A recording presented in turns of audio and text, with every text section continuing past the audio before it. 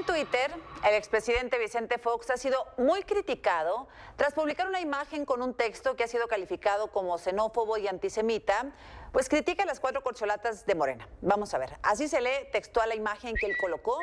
Sheinbaum es judía búlgara, Marcelo es fifi francés, Noroña es extraterrestre y Adán Augusto de Transilvania. La única mexicana es Xochitl.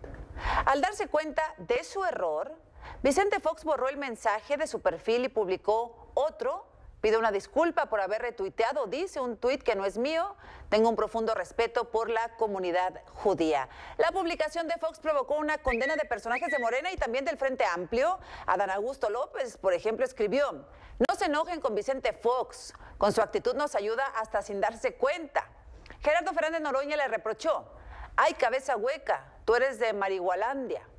Bueno, niveles, ¿no? El presidente del, el expresidente del IFE, Luis Carlos Ugalde, escribió qué lamentables comentarios emite el expresidente, denigra su investidura.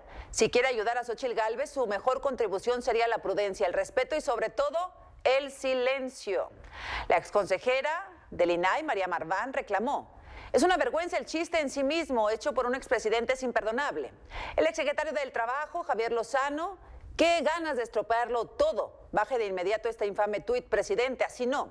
Manuel Cloutier, panista, tú sabes que hubo que cambiar la constitución para eliminar ese pensamiento estúpido y que aún siendo hijos de padres españoles tú eras mexicano, por lo que pudiste ser candidato presidencial. Mexicanos somos todos, incluso los que no nacieron aquí y se nacionalizaron. Bueno, algunos ejemplos apenas.